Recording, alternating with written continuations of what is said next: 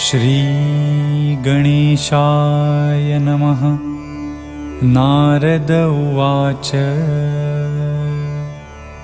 प्रणम्य शिरसा देवं। गौरीपुत्रं विनायकं।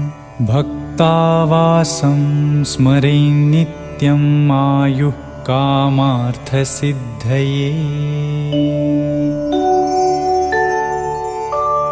प्रथमं वक्रतुण्डं च एकदन्तं द्वितीयकं तृतीयं कृष्णपिङ्गाक्षं गजवक्त्रं चतुर्थकम्।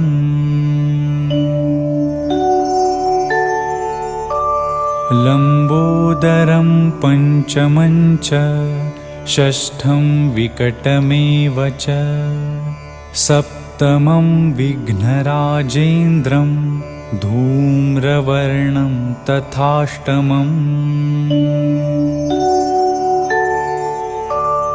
नववं भालचन्द्रं च दशमं तु विनायकम्।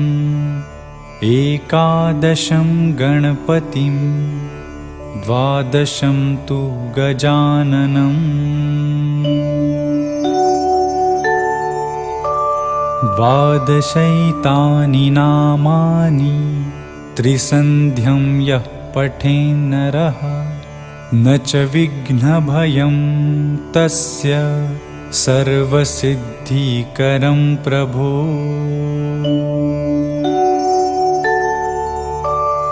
विद्यार्थी लभते विद्यां धनार्थी लभते धनम् पुत्रार्थी लभते पुत्रान् मोक्षार्थी लभते गतिम्।